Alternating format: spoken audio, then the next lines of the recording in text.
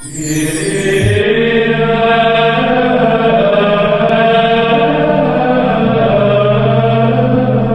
el nombre del Padre, y del Hijo, y del Espíritu Santo, el Señor esté con vosotros. Vamos a preparar nuestro corazón para celebrar esta Eucaristía rezando las laudes del miércoles que están en la página 38. Amo, Señor, tus sendas y me suave la carga, la llevaron tus hombros que en mis hombros pusiste, pero a veces encuentro que la jornada es larga, que el cielo ante mis ojos de tinieblas se viste, que el agua del camino es amarga, es amarga, que se enfría este ardiente corazón que me diste, y una sombría y honda desolación me embarga, y siento el alma triste hasta la muerte triste. El espíritu débil y la carne cobarde, lo mismo que el cansado labriego por la tarde, de la dura fatiga quisiera reposar. Mas entonces me miras y se llena de estrellas, Señor, la oscura noche, y detrás de tus huellas, con la cruz que llevaste, me es dulce caminar. Alegre el alma de tu siervo, pues levanto mi alma hacia ti, Señor. Inclina tu oído, Señor, escúchame que soy un pobre desamparado. Protege mi vida que soy un fiel tuyo. Salva a tu siervo que confía en ti. Tú eres mi Dios, piedad de mí, Señor, que a ti te estoy llamando todo el día. Alegra el alma de tu siervo, pues levanto mi alma hacia ti. Porque tú, Señor, eres bueno y clemente, rico en misericordia con los que te invocan. Señor, escucha mi oración, atiende a la voz de mi súplica. En el día del peligro te llamo y tú me escuchas. No tienes igual entre los dioses, Señor, ni hay obras como las tuyas. Todos los pueblos vendrán a postrarse en tu presencia, Señor. Bendecirán tu nombre. Grande eres tú y haces maravillas. Tú eres el único Dios. Enséñame, Señor, tu camino, para que siga tu verdad. Mantén mi corazón entero en el temor de tu nombre. Te alabaré de todo corazón, Dios mío. Daré gloria a tu nombre por siempre, por tu gran piedad para conmigo, porque me salvaste del abismo profundo. Dios mío, unos soberbios se levantan contra mí. Una banda de insolentes atenta contra mi vida sin tenerte en cuenta a ti. Pero tú, Señor, Dios clemente y misericordioso, lento a la cólera, rico en piedad y leal, mírame, ten compasión de mí. Da fuerza a tu siervo, salva al hijo de tu esclava. Dame una señal propicia, que la vean mis adversarios y se avergüencen, porque tú, Señor, me ayudas y consuelas. Gloria al Padre y al Hijo y al Espíritu Santo. Como era en el principio, ahora y siempre, por los siglos de los siglos. Amén. Alegra el alma de tu siervo, pues levanto mi alma hacia ti, Señor. Señor, has sido bueno con tu tierra, has perdonado la culpa de tu pueblo. Desbordo de gozo en el Señor y me alegro con mi Dios, porque me ha vestido un traje de gala y me han vuelto en un manto de triunfo, como a un novio que se pone la corona o a una novia que se adorna con sus joyas. Como el suelo echa sus brotes, como un jardín hace brotar sus semillas, así el Señor hará justicia ante todos los pueblos. Por amor de Sión no callaré, por amor de Jerusalén no descansaré, hasta que despunte la aurora de su justicia y su salvación llame como antorcha. Los pueblos verán tu justicia y los reyes tu gloria. Te pondrán un nombre nuevo pronunciado por la boca del Señor. Serás corona fúlgida en la mano del Señor y diadema real en la palma de tu Dios. Ya no te llamarán abandonada, ni a tu tierra devastada. A ti te llamarán mi favorita y a tu tierra desposada, porque el Señor te prefiere a ti y tu tierra tendrá marido. Como un joven se casa con su novia, así te desposa el que te construyó.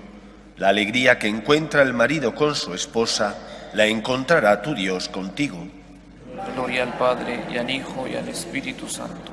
Como era en el principio, ahora y siempre, por los siglos de los siglos. Amén. Señor, has sido bueno con tu tierra, has perdonado la culpa de tu pueblo. El Señor es Dios y nosotros somos su pueblo y ovejas de su rebaño. Aclama al Señor tierra entera, servid al Señor con alegría, entrad en su presencia con vítores. Sabed que el Señor es Dios, que Él nos hizo y somos suyos, su pueblo y ovejas de su rebaño. Entrad por sus puertas con acción de gracias, por sus atrios con himnos, dándole gracias y bendiciendo su nombre. El Señor es bueno, su misericordia es eterna, su fidelidad por todas las edades. Gloria al Padre y al Hijo y al Espíritu Santo. Como era en el principio, ahora y siempre, por los siglos de los siglos. Amén. El Señor es Dios y nosotros somos su pueblo y ovejas de su rebaño. Oremos. Señor, tú que te complaces en habitar en los rectos y sencillos de corazón, concédenos vivir por tu gracia de tal manera que merezcamos tenerte siempre con nosotros. Por Jesucristo nuestro Señor.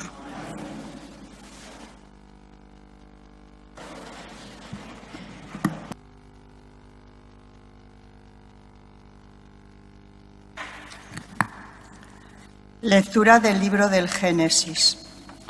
Pasados cuarenta días, Noé abrió el tragaluz que había hecho en el arca y soltó el cuervo, que voló de un lado para otro hasta que se secó el agua en la tierra. Después soltó la paloma para ver si el agua sobre la superficie estaba ya somera. La paloma, no encontrando dónde posarse, volvió al arca con Noé, porque todavía había agua sobre la superficie. Noé alargó el brazo, la agarró y la metió consigo en el arca.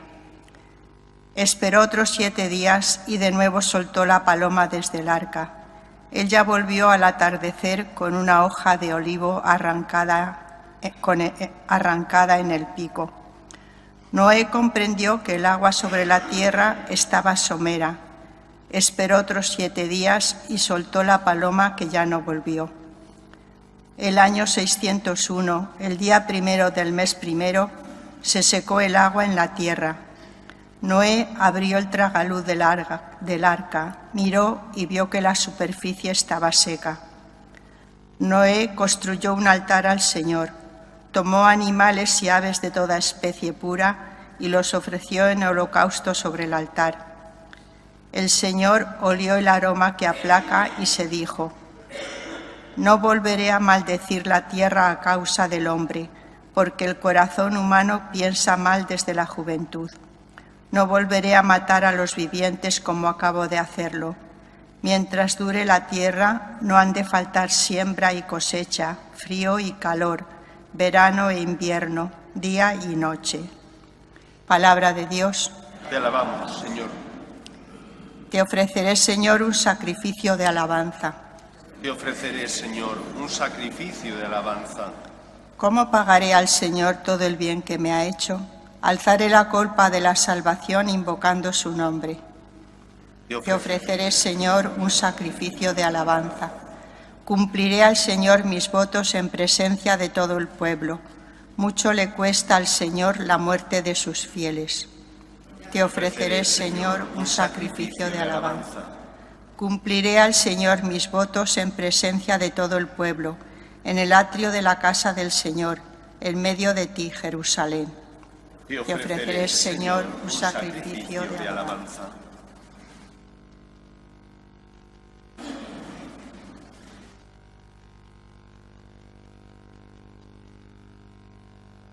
El Señor esté con vosotros.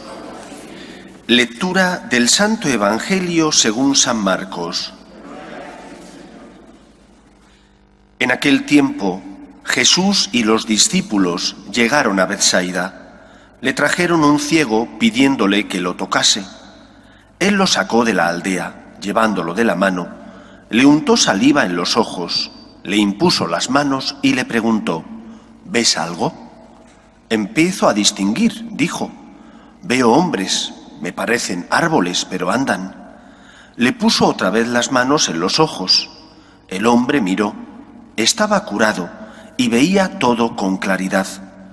Jesús lo mandó a casa diciéndole, no entres siquiera en la aldea.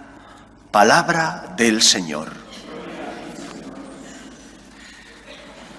El relato de la creación del Génesis nos narra cómo Dios creó al ser humano, a Adán y Eva, y dice, concluye el escritor del Génesis, y vio Dios que era muy bueno.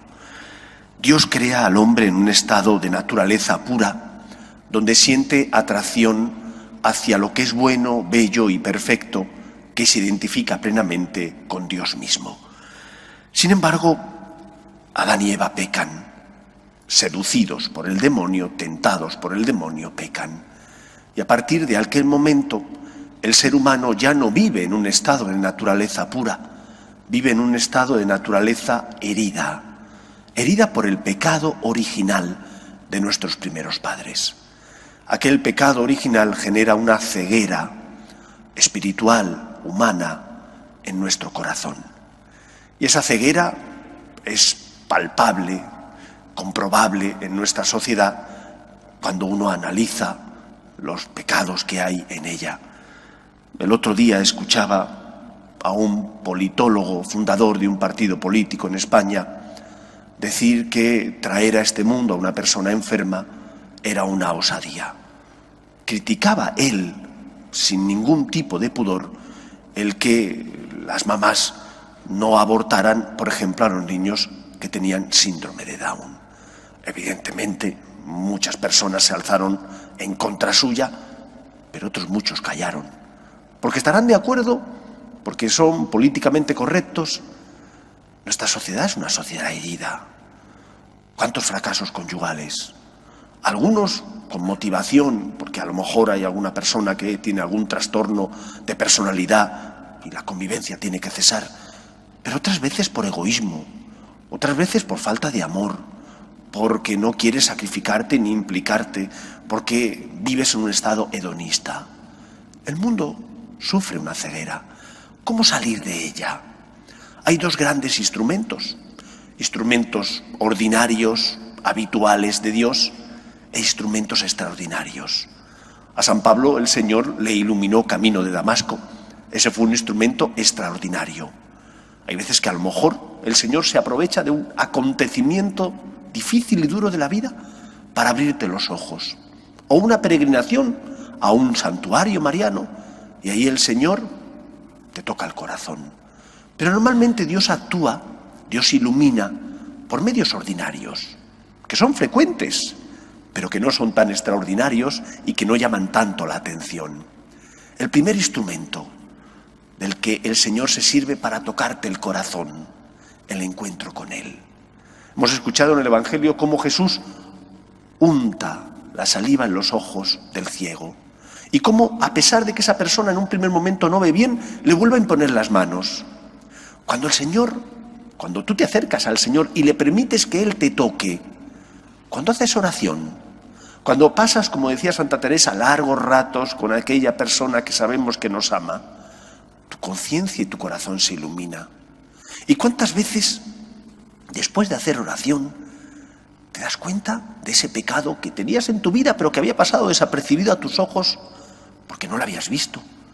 Pero después caes en la cuenta que a lo mejor eres rencoroso o que no tienes la generosidad que el Señor espera de ti porque no te das a los demás. Y te das cuenta. Y el Señor necesita su tiempo para ir tocando tu corazón. Pero si no te acercas a Él, difícilmente podrá tocarte el corazón. Acércate, por tanto, al Señor. Haz oración. Practica los sacramentos. Y verás cómo el Señor va sanando tu ceguera. Pero no basta solo con eso. ¿Cuántas veces escucho a personas que me dicen, ay padre, es que la misa me aburre muchísimo? Es que el cura de mi parroquia repite una y otra vez lo mismo que dice el Evangelio, si ya lo hemos escuchado. Es verdad, hay muchos sacerdotes que no están ni informados ni formados. Quizás el último libro que leyeron fue el libro que tenían que leer de teología, cristología, historia de la iglesia, para aprobar la carrera, pero no se formaron más, ni se informaron. Es cierto, hay que informarse, hay que leer la prensa, por ejemplo, para estar al cabo de la calle y conocer qué es lo que sucede. El sacerdote no puede vivir en una burbuja, porque vive, aun sin ser del mundo, vive en el mundo y tiene que conocer los problemas del mundo. Tiene que estar formado también. Pero no solo el sacerdote, también todos vosotros. Tenéis que informaros y formaros, acudiendo a esas fuentes de teología sencilla que os ayudan a encontrar respuestas ante los problemas de la vida. Ante la ideología de género, por ejemplo, que se predica en tantos colegios, que se está inoculando en el corazón de tantos jóvenes y adolescentes, tenéis que tener una respuesta. Y no podéis decir, ah, es que yo no tengo ni idea de eso. ¿Te has formado? ¿Has leído? Porque sí que lees cosas que tienen que ver con tu profesión. Si no te adaptas, si no te actualizas, pierdes la corriente y por lo tanto a lo mejor pierdes el puesto de trabajo. ¿Por qué no te formas también en cuanto a tu fe? No basta solo con formarse intelectualmente. Es fundamental el primer instrumento, el encuentro con Dios. Pero también el segundo. No puedes tener la fe del carbonero, de aquella persona que dice, yo creo en Dios, pero no me planteo nada más. No, nuestro mundo necesita respuestas y no podremos darlas si no estamos unidos a Cristo y si tampoco estamos formados e informados. Por eso es importante formarnos nosotros para responder a otros que nos preguntan y que necesitan la luz de la verdad. Pidamos al Señor que ilumine nuestra vida, para que salgamos de la tiniebla como el ciego del Evangelio. Quería tener vista, se puso en manos del Señor y el Señor le curó. Tú necesitas también la luz de la verdad. Acércate a aquel que es el camino, la verdad y la vida, y Él disipará la tiniebla de tu vida y de tu corazón. Que el Señor nos ayude. Nos ponemos en pie. Oremos a Dios nuestro Padre.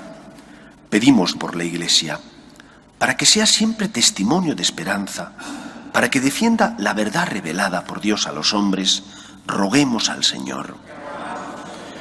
Pedimos también por el Papa, los obispos que están reunidos en esta comisión para tratar el problema de la pederastia en la Iglesia, para que el Espíritu Santo les ilumine, se aprueben protocolos que impidan que este pecado y crimen vuelva a tener lugar en ella, roguemos al Señor. Pedimos también por los que sufren, pedimos por las víctimas, roguemos al Señor.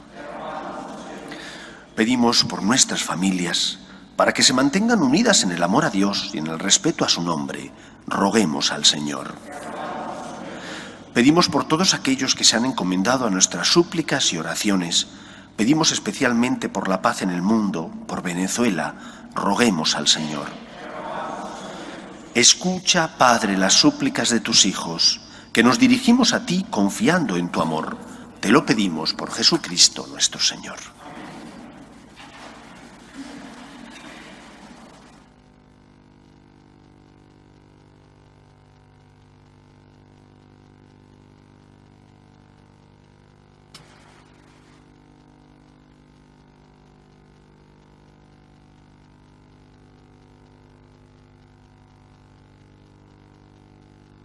Bendito seas, Señor, por este pan, fruto de la tierra y del trabajo del hombre, que recibimos de tu generosidad y ahora te presentamos. Él será para nosotros comida de salvación.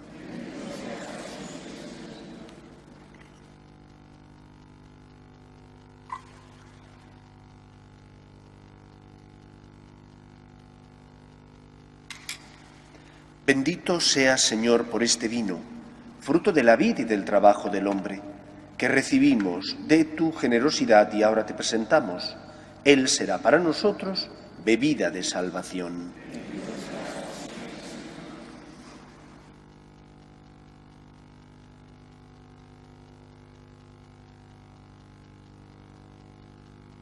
Orad, hermanos, para que este sacrificio mío y vuestro sea agradable a Dios Padre Todopoderoso.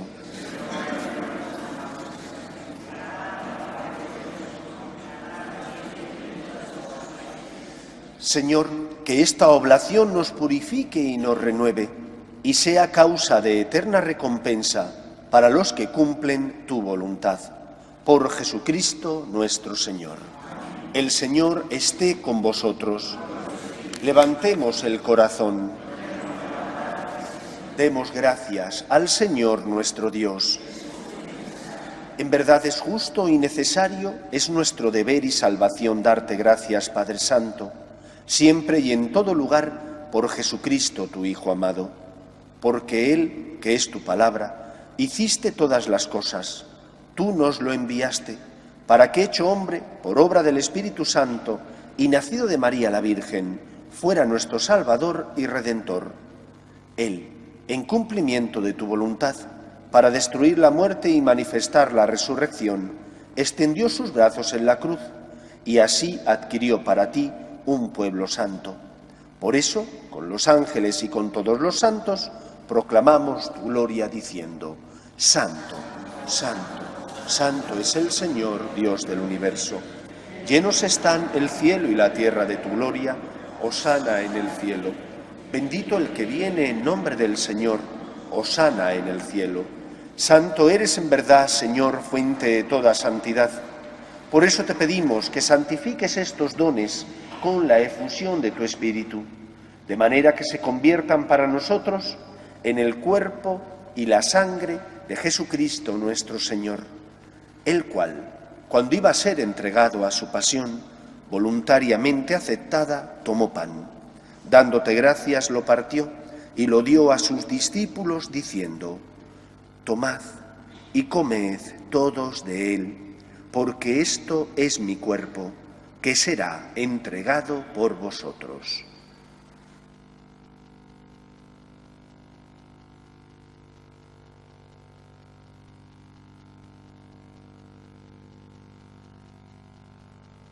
Del mismo modo, acabada la cena, tomó el cáliz y dándote gracias de nuevo, lo pasó a sus discípulos diciendo, Tomad y bebed todos de él, porque este es el cáliz de mi sangre, sangre de la alianza nueva y eterna, que será derramada por vosotros y por muchos, para el perdón de los pecados.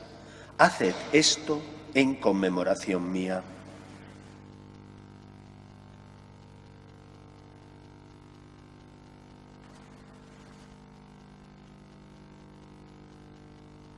Este es el sacramento de nuestra fe. Anunciamos tu muerte, proclamamos tu resurrección. Ven Señor Jesús. Así pues, Padre, al celebrar ahora el memorial de la muerte y resurrección de tu Hijo, te ofrecemos el pan de vida y el cáliz de salvación, y te damos gracias porque nos haces dignos de servirte en tu presencia. Te pedimos humildemente que el Espíritu Santo congregue en la unidad a cuantos participamos del cuerpo y sangre de Cristo. Acuérdate, Señor, de tu iglesia extendida por toda la tierra y con el Papa Francisco, con nuestro obispo Carlos y todos los pastores que cuidan de tu pueblo, llévala a su perfección por la caridad. Acuerde también de nuestros hermanos que durmieron en la esperanza de la resurrección, de tus hijos, Mari Carmen y Genaro y de todos los que han muerto en tu misericordia, admítelos a contemplar la luz de tu rostro. Ten misericordia de todos nosotros y así con María, la Virgen Madre de Dios, San José, los apóstoles y cuantos vivieron en tu amistad a través de los tiempos, merezcamos por tu Hijo Jesucristo compartir la vida eterna y cantar tus alabanzas. Por Cristo, con Él y en Él, a ti, Dios Padre Omnipotente, en la unidad del Espíritu Santo, todo honor y toda gloria por los siglos de los siglos. Fieles a la recomendación del Salvador y siguiendo su divina enseñanza, nos atrevemos a decir, Padre nuestro que estás en el cielo, santificado sea tu nombre, venga a nosotros tu reino, hágase tu voluntad en la tierra como en el cielo.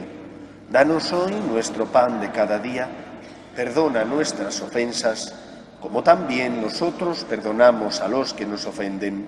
No nos dejes caer en la tentación y líbranos del mal. Líbranos de todos los males, Señor, y concédenos la paz en nuestros días, para que, ayudados por tu misericordia, vivamos siempre libres de pecado y protegidos de toda perturbación, mientras esperamos la gloriosa venida de nuestro Salvador Jesucristo. Señor Jesucristo, que dijiste a tus apóstoles, la paz os dejo, mi paz os doy, no tengas en cuenta nuestros pecados, sino la fe de tu Iglesia, y conforme a tu palabra, concédele la paz y la unidad. Tú, que vives y reinas por los siglos de los siglos, la paz del Señor esté siempre con vosotros. Daos fraternalmente la paz.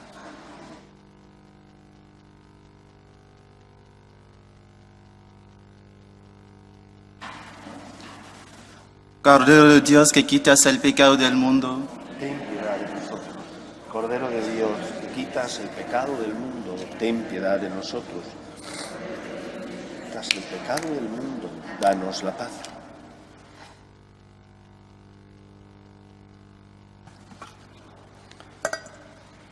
Este es el Cordero de Dios que quita el pecado del mundo. Dichosos los llamados a la cena del Señor. Señor, no soy digno entres en mi casa, pero una palabra tuya bastará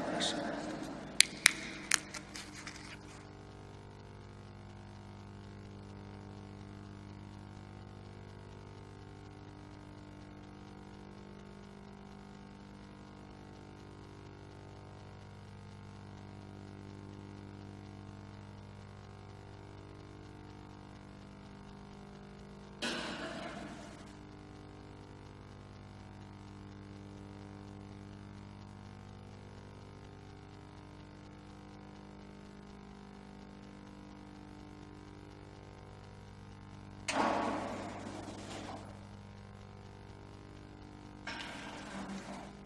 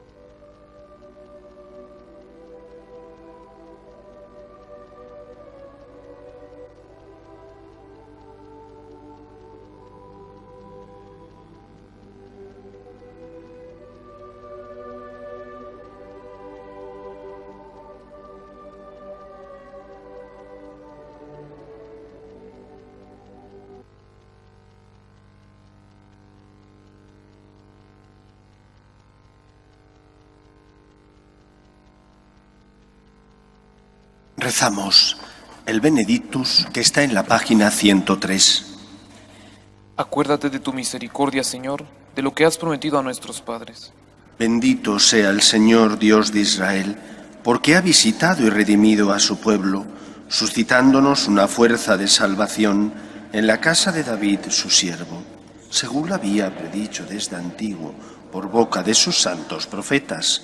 Es la salvación que nos libra de nuestros enemigos y de la mano de todos los que nos odian, realizando la misericordia que tuvo con nuestros padres, recordando su santa alianza, el juramento que juró a nuestro padre Abraham, para concedernos que libres de temor, arrancados de la mano de los enemigos, le sirvamos con santidad y justicia en su presencia todos nuestros días. Y a ti, niño, te llamarán profeta del Altísimo, porque irás delante del Señor a preparar sus caminos, anunciando a su pueblo la salvación, el perdón de sus pecados.